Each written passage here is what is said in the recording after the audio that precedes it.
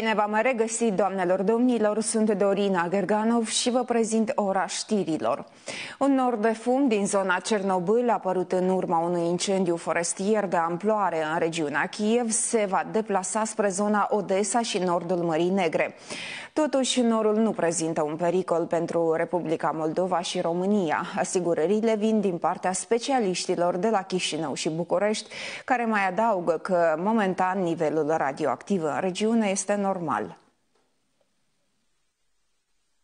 Administrația Națională de Meteorologie din România transmite că un nor de fum din zona Cernobâl se deplasează spre sud-vestul Ucrainei, zona Odessa și nordul Mării Negre. Asta după ce autoritățile ucrainene au raportat miercuri un incendiu care a cuprins mai multe hectare de vegetație din zona de excludere. Specialiștii din România susțin că totuși norul nu prezintă niciun pericol pentru regiune, întrucât va fi mânat de vânt către estul Ucrainei și sud-vestul Rusiei, iar responsabilii de la Agenția de Mediu din Republica Moldova afirmă că deocamdată pe teritoriul țării țării noastre nivelul radiației este stabil?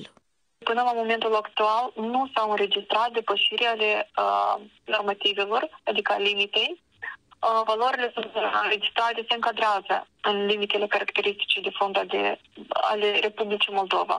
Astfel, nu prezintă motiv de îngrijorare pentru populație. Și Agenția Națională de Reglementare a Activităților Nucleare și Radiologice din Republica Moldova a venit cu o declarație la acest subiect. Potrivit instituției, parametrii radiologici sunt în limitele fluctuației radiației naturale de fond.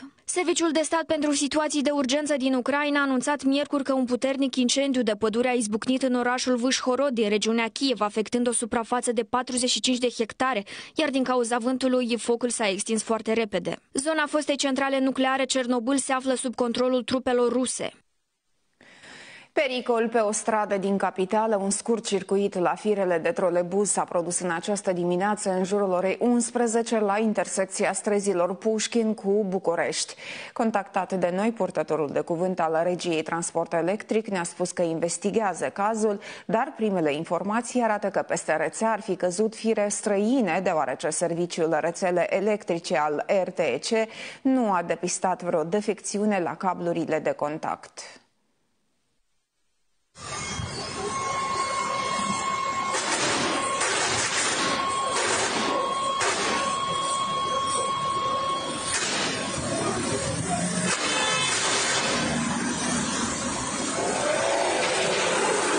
Îndată la fața locului s-au deplasat um, responsabilii din cadrul regiei Transport Electric Chișinău, în special cei din serviciul rețelei electrice. Nu s-a depistat niciun deranjament la rețeaua de contact. De asemenea, uh, nu au staționat um, trolebuzele în această perioadă. Dacă apar noi detalii, neapărat uh, venim cu o reacție. La fața locului s-a îndreptat și un echipaj de poliție. Potrivit purtătorului de cuvânt al Poliției Capitalei, Natalia Stati, în urma scurcircuitului la firele de trolebuz, nimeni nu a avut de suferit. Un martor a reușit să filmeze incidentul. Din imagini se vede cum firele se aprind de câteva ori, iar flacăra cade și pe stradă, astfel încât mașinile ocolesc porțiunea periculoasă.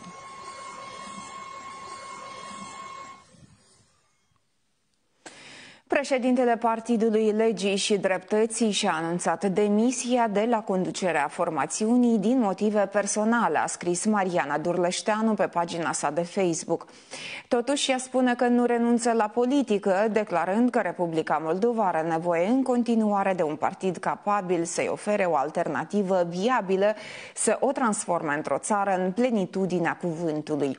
La alegerile parlamentare anticipate din iulie trecut, Partidul Legii și Dreptății dreptății a acumulat 0,10% din voturile alegătorilor, iar în toamnă Durleșteanu a preluat șefia formațiunii de la generalul Nicolae Alexei. Între anii 2008-2009 ea a fost ministru al finanțelor în guvernul grecean, iar anterior a fost ambasadorul Republicii Moldova în Marea Britanie.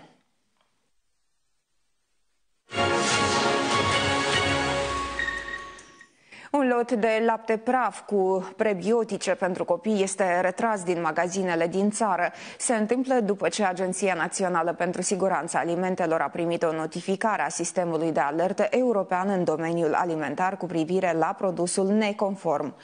Potrivit unui comunicat emis de instituție, lotul este importat în Republica Moldova din Polonia, iar persoanele care au achiziționat produsul sunt rugate să nu le includă în alimentația copiilor și să-l returneze unităților de comerț de unde l-au procurat.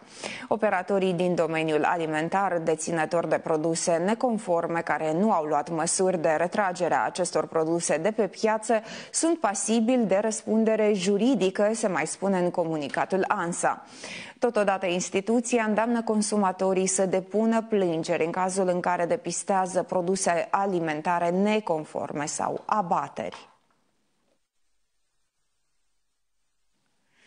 O operațiune de verificare a avut loc în această dimineață la judecătoria Chișinău cu sediul Ciocana după ce poliția a fost informată prin telefon de un bărbat că în interior s-ar afla o bombă. În urma anunțului, toți cei care se aflau în clădire au fost evacuați, iar zona a fost izolată. Ajunși la fața locului, specialiștii de la Bomtech nu au descoperit obiecte explozibile, prin urmare au declarat că alerta a fost falsă. Poliția spune într-un comunicat de presă că încearcă să dea de autorul anunțului care riscă o amendă de peste 42.000 de lei sau până la 2 ani de închisoare. Cazul este cercetat într-un dosar penal pornit pentru comunicare mincinoasă cu bună știință despre actul de terorism.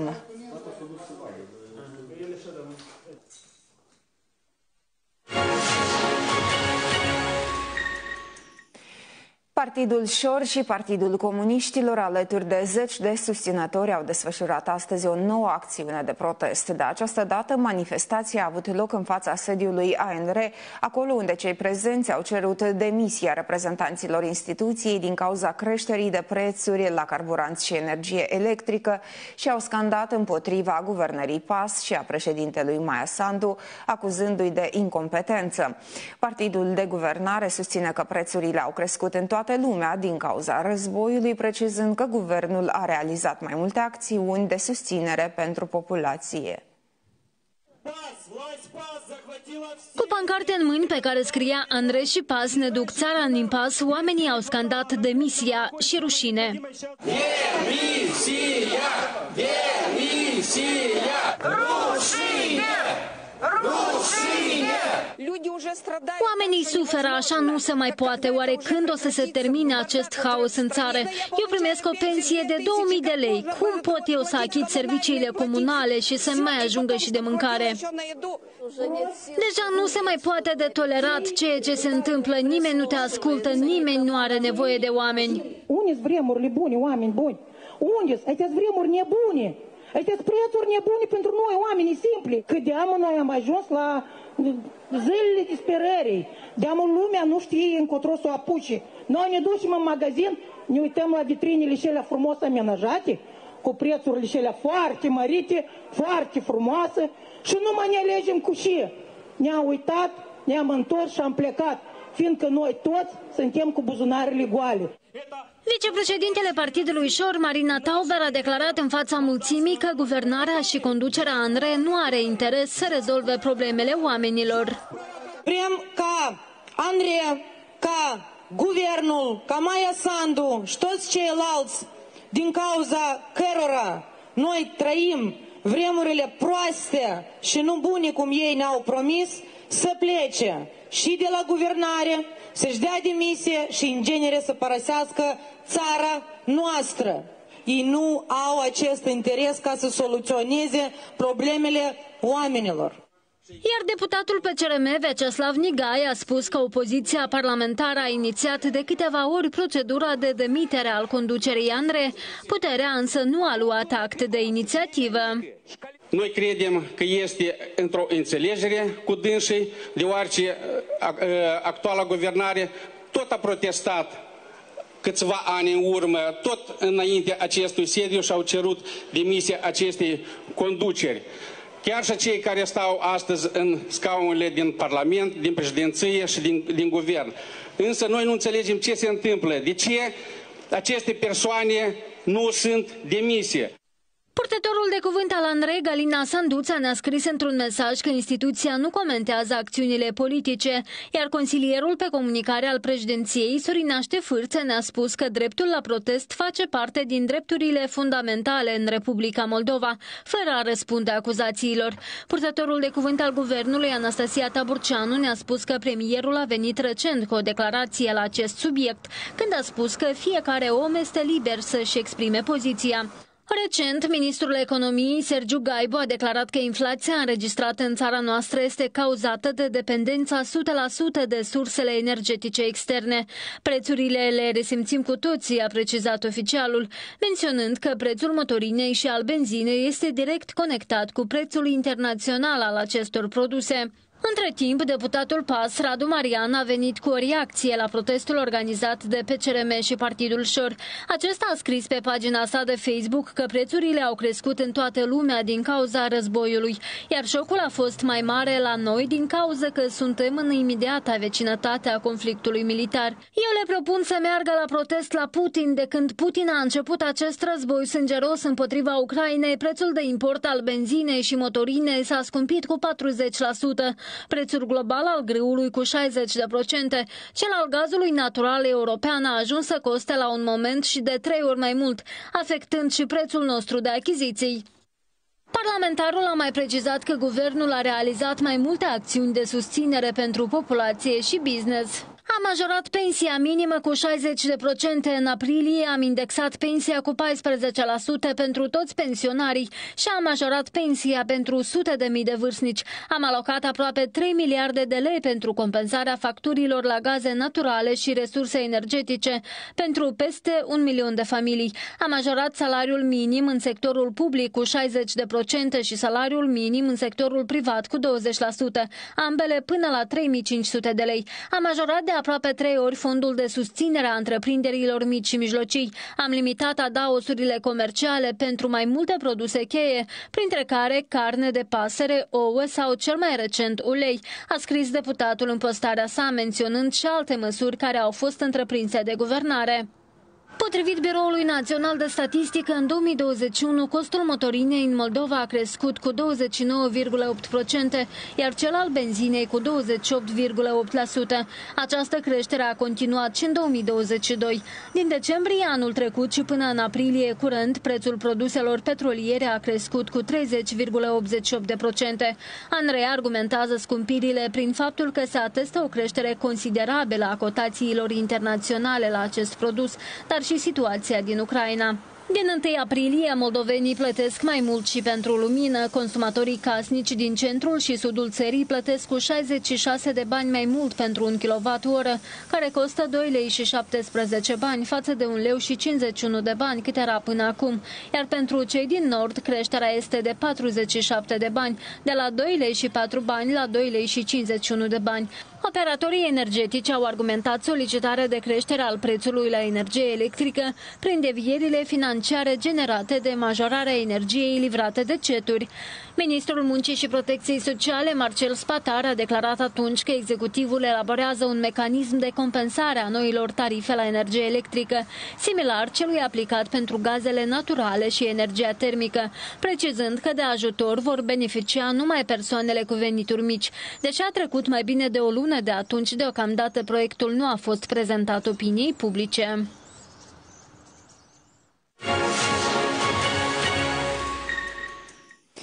Muzicieni cu experiență și tineri care visează să le calce pe urme și-au dat întâlnire la școala de muzică Gerasim Lupoi din Orhei.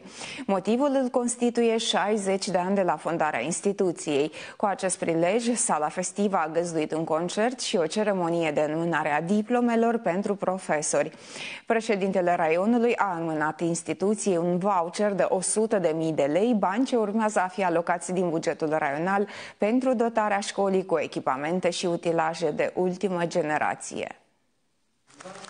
Cântece și ropote de aplauze au împânzit vineri sala de concert de la școala de muzică Gerasim Lupoi, aflată la ceas universar. Profesorii spun că sunt mândri că activează într-o instituție cu renume din țară, care a învățat arta muzicii generații întregi de elevi. Avem foarte mulți interpreți care sunt de aici, porniți de aici, care primii pași a cărora sunt de aici.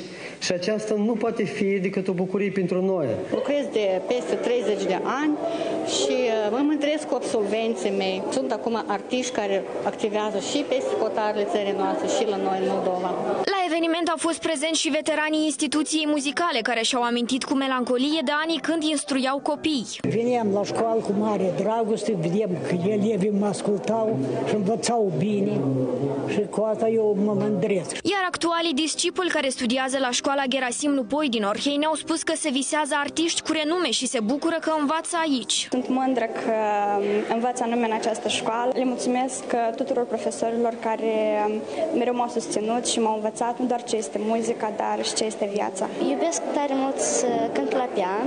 În viitor eu aș vrea să fiu o cântăreață de operă și de pian. Și unii interpreți din țară spun că sunt mândri de faptul că anume în această școală au făcut primii pași în lumea muzicii. Este alma mater cu siguranță a mea și tare mă bucur că văd așa de multă lume, așa de mulți copii uh, talentați și frumoși, cu perspectivă mare.